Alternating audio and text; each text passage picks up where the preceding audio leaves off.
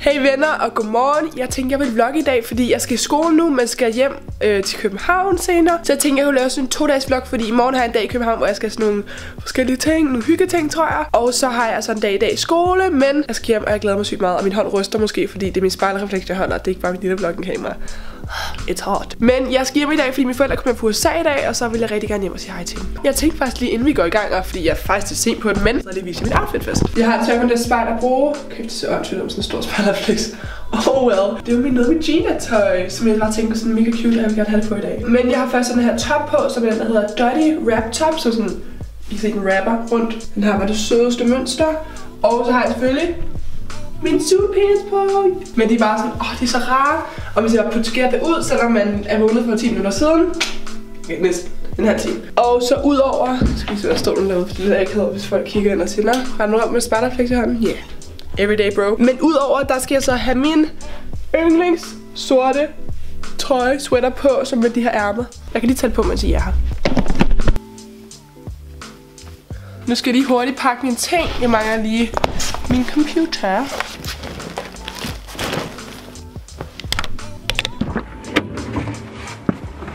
Well, hello there.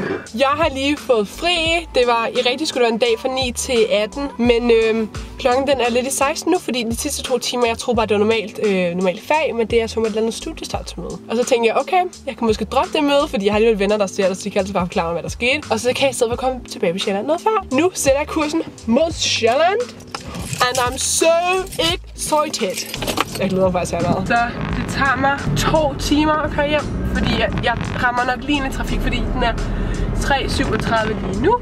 Og det tager nok lige lidt tid, før jeg er nået på motorvejen, så altså, det tager mig nok et godt stykke tid at komme hjem af. Miu. Og jeg skal høre musik. Hej Johnny, så ser det her, det er din ting. Det er ikke min vilje, jeg har, men jeg kan godt lige sige til mit forårsvar. Jeg havde faktisk taget med i bilen for at aflevere til Julia.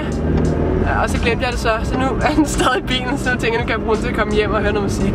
Så er jeg på vej over broen, hjem til mig Storebæltsbroen, det der stykke inden.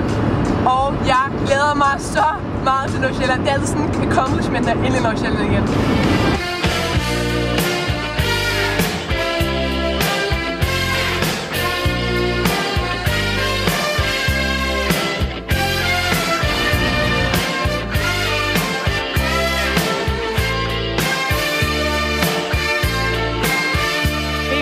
Jeg sagde, at jeg ville fortsætte vloggen fra i går i dag.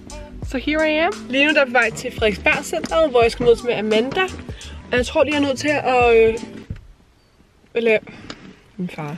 Hej hej. Ja, okay. Jeg skal mødes med Amanda, vi skal ud og spise. Jeg tror i Frederiksberg, det der hedder Madklubben, eller sådan noget. Det skulle rigtig dejligt i hvert fald. Men inden da, der skal lige have taget et Instagram-billede. So let's go to Copenhagen. I'm excited. Jeg har ikke været der i en uge. Jeg savner det. I forhold til, at jeg plejer at være sådan flere gange. Vi har lige fået en chai latte fra 42 Raw. Altså med Amanda. Jeg har fået briller. Amanda får briller, ja. Det er så flot til dig. Det er jo, det er jo lækkert. Ja, de er faktisk rigtig fine. Også Cupid, der kommer. Jeg derhjemme. Ja. Det er super fint. Må vi lige ind og høre, hvor de har fået dem. Men det, nu skal vi ud og spise i aften. Ja. Hvor skal vi hen? Madklubben. Madklubben. Der er allerede, ja. Hvor er det? Men, hvordan? Altså, inden den er bygget lige der? Ja. Nå, nu kan jeg se det. Er du klar til food? Yes. Så spændt. Ej, jeg er spændt. Nu har jeg hørt meget om det. Nu skal vi lige have mad. Jeg har ikke spist siden kl. 12, tror jeg, så det er ikke så tæt. Yes. Ej, hvor hygge. Så tror jeg, vi skal have to retter. Ja. Jeg skal med en forret og en hovedret. Hovedret. Jeg skal hvad er det der? Hovedret. Så er forretten her, det var den der, hvad er det, rørt oksetar. Yes. Wow. Og vi har fået noget rødvin. Det er virkelig en god torsdag det her. Jeg gider ikke tænke på, at jeg skal op klokken 5 i morgen og i skole. jeg husker lige på, at jeg skulle vise maden. Men vi har et stykke, hvad var det? En, en uh, helleflynder? Helleflynder. Helleflynder fisk i ven. Med nogle agurker. Nej, nogle gulerødder. Og noget andet. Mashed potatoes, tror jeg. Jeg ved det faktisk ikke. Hvad får du herhen? Jeg får en stor burger og lækker fritter. Wow. Det smager rigtig lækkert. Det smager virkelig, virkelig godt. Wow, højdeforskellen er altså fabulous. Jeg er så mini. Vi har lige forladt stedet, det smagte så godt. Vi fik det der oksetar til Ja. forret. Mega godt. Ej, det ser så åndssvagt ud, det her. Jeg er fucking lille. Goddag. Fuck for nederen. Du fik en burger, som er rigtig godt. Ja. Og jeg fik den der, hvad hedder det, um, fiskeven der. Helleflynder. Helleflynder. Mm. Og nu skal vi ind i Frederiksberg Centeret og, og finde hjem bilen. mig. Hjem til dig, yes. Så er vi hjemme hos Amanda. Wanna say hi? Hello. Og nu skal vi bare hygge os lidt. Og så skal jeg hjem og i seng, fordi jeg skal op klokken lort i morgen. Life. så er jeg på vej hen til min bil, fordi som sagt, jeg skal op klokken 5 i morgen.